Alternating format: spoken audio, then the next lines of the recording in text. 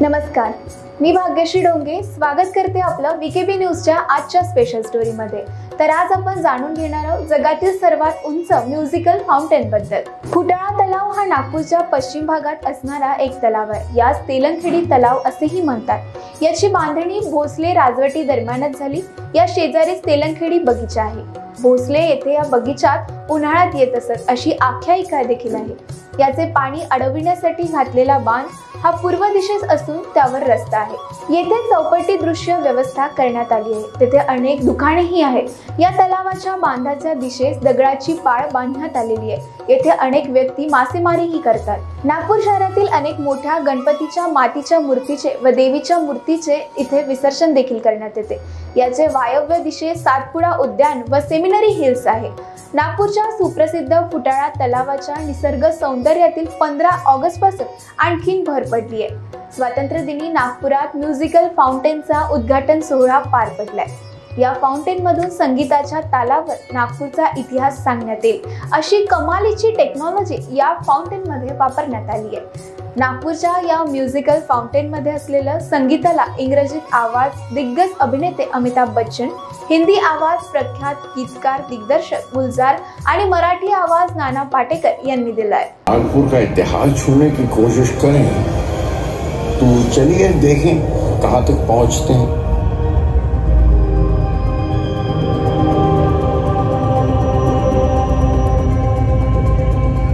पहली बार नागपुर का नाम लिखा हुआ या दर्ज किया हुआ मिलता है 940 ईस्वी में, यानी 940 एडी एक कॉपर प्लेट पर देवली गाँव में जो आज के वर्धा जिला में है।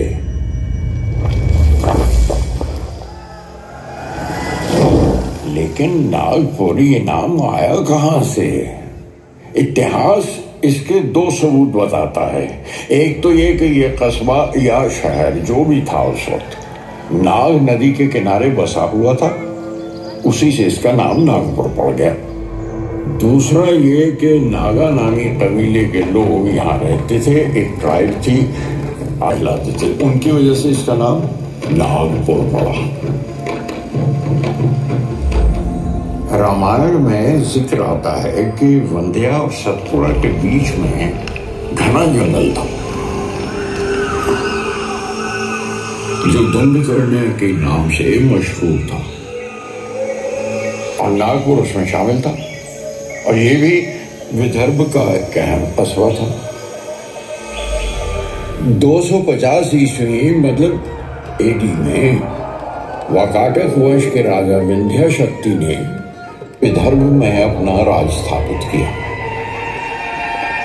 बेटे के बेटे यानी पोते रुद्रसेन रुद्रसेन दोम यानी रुद्रसेन की सेकंड स्वर्ण युग के चंद्रगुप्त दोम की बेटी प्रभावती सुप्रसिद्ध संस्कृत के महाकवि कालिदास थे।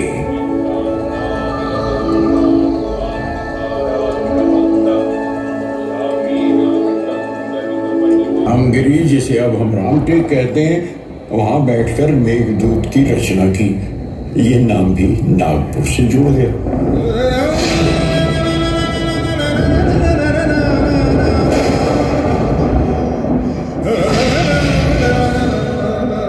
इतिहास की करवट भी कभी जब दक्षिण यादव राज के तहत था मराठी लिटरेचर ने बहुत तरक्की की और नागपुर की आम जनता की जबान मराठी की थी।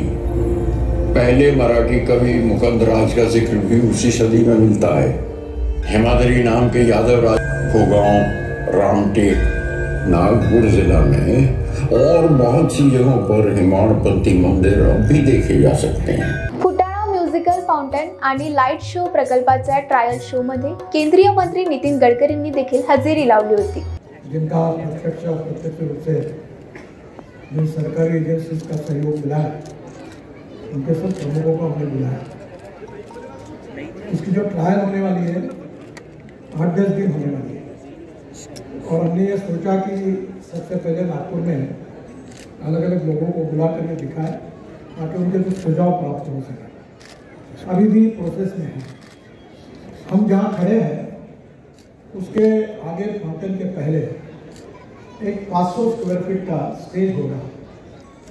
और उस स्टेज में फाउंटेन के पीछे में एक बहुत बड़ा स्क्रीन है इलेक्ट्रॉनिक का जो पेड़ के रूप में है, जिसमें उसकी प्रतिकृति दिखेगी।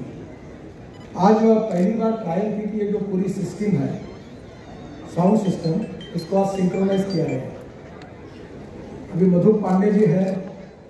ये जो प्लेटफॉर्म ऊपर आएगा तो कवि सम्मेलन हो सकेगा। दरड़ा जी को मैंने कहा कि आपको पत्रकारों के लिए कोई विचार गोष्ठी लेनी है तो सुबह के समय चार हज़ार लोग यहाँ बैठेंगे, वो कार्यक्रम यहाँ हो सकता है। लाइटिंग्स आणि हार्डवेअर बसविण्याचे काम पूर्ण झाले असून पाण्याच्या फवाऱ्याशी संलग्न संगीताशी संबंधित काम सुरू आहे. फुटाणा तलावातील म्युझिकल फाउंटेन हा जगातील सर्वात उंच म्युझिकल फाउंटेन असल्याचे सांगितले जात आहे. या म्युझिकल फाउंटेन बरोबर वाजणाऱ्या संगीताला दिग्गज संगीतकार ए आर रेहमान यांनी संगीत दिलंय आणि ऑस्कर पुरस्कार विजेते रेसुल पुकुट्टी यांनी म्युझिकल डिझाईन केलं आहे. म्युझिकल फाउंटेनचा प्रत्येक शो चौतीस मिनिटांचा असेल. उद्यान विकसित करण्यासाठी सेंट्रल रोड फंडातून तीस कोटी रुपये देण्यात आले आहे. प्रत्येक म्युझिकल फाउंटनच्या गॅलरीमध्ये चार हजार दर्शकांसाठी बसण्याची व्यवस्था आहे. तसेच एक हजार शंभर वाहनांच्या पार्किंगमध्ये बारा मजली इमारत hosting food plaza mall multiplex आणि रिव्हॉल्विंग रेस्टॉरंटचा समावेश आहे.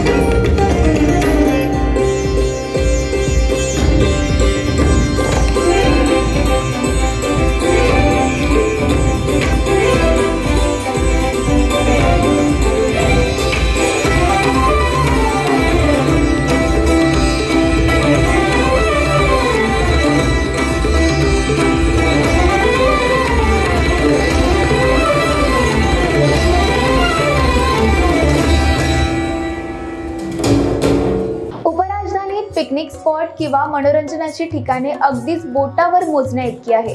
फुटाळा हे त्यापैकी एक. त्यामुळे अलीकडच्या काळात हे नागपूरकरांच्या आवडीचे ठिकाण बनले आहे. अनेक जण परिवारांसह फुटाळ्यावर येऊन एन्जॉय करतात. फुटाळ्यावर बाराही महिने या ठिकाणी प्रचंड गर्दी असते. विशेषतः तरुणाईचे हे हॉट डेस्टिनेशन ठरत आहे. फुटाळ्यावर बुट्टे व उकडलेली बोरं खाण्याची मजा औरच आहे. आणि आता तर आणखीन यात भर पडली आहे ती आज जगातील सर्वात मोठ्या फाउंटेनमुळे तर या फाउंटेनमुळे नागपूरचं नाव आता आणखीनच मोठं होणार आहे. सातवां अधिवेशन नागपुर में हुआ और उसकी वजह से आज़ादी आंदोलन में एक नई लहर दौड़ गई. 1907 में अंग्रेज़ों ने हिंदुस्तान का सर्वे किया। कांग्रेस में काफ़ी तब्दीलियाँ शुरू हो गई थी। गांधी जी ने संपूर्ण आज़ादी के आंदोलन की शुरुआत नागपुर से 75 किलोमीटर दूर सेवाग्राम से की और सेवाग्राम को अपनी कर्मभूमि बनाया। 1925 में विजयदशमी के दिन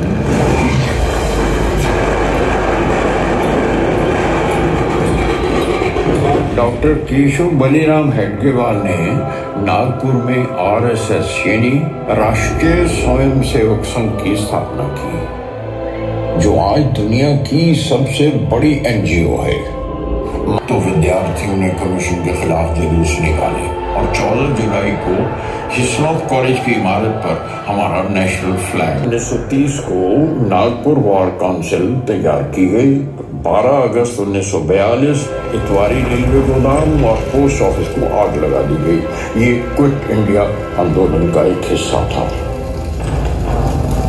1942 में 14 अक्टूबर 1956 श्री बाबा साहेब अंबेडकर की लीडरशिप में नागपुर में तीन लाख अस्सी हज़ार लोगों ने बुद्ध धर्म इख्तियार किया।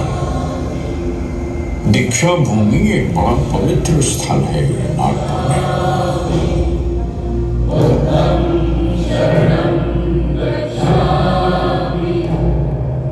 एक और चीज़ जिसके लिए नागपुर टाइगर्स है। बल्कि नागपुर को संतरा नगरी के साथ साथ टाइगर कैपिटल ऑफ़ इंडिया भी कहा जाता है। प्रिंट मीडिया में भी नागपुर का योगदान कम नहीं है। देश सेवक नाम से पहला मराठी अखबार 1907 में शुरू हुआ। और 1922 में संस्कृत का पहला बाई मंथली मैगजीन निकाला।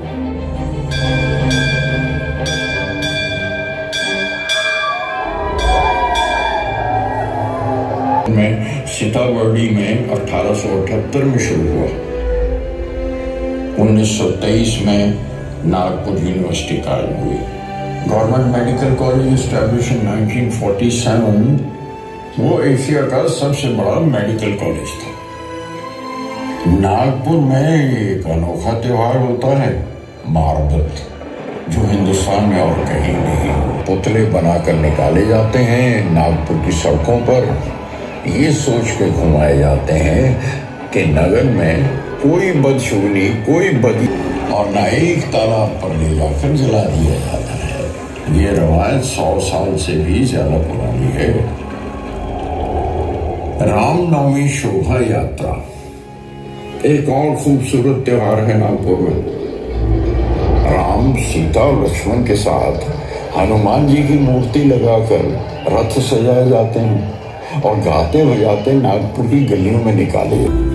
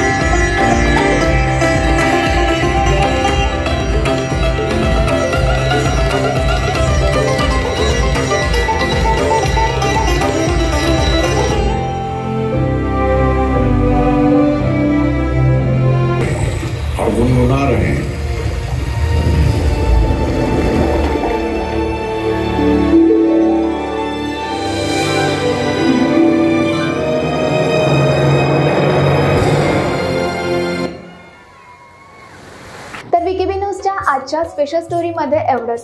अजून नवनवीन स्टोरी बघण्याकरिता बघत रहा. विकेबी न्यूज नमस्कार.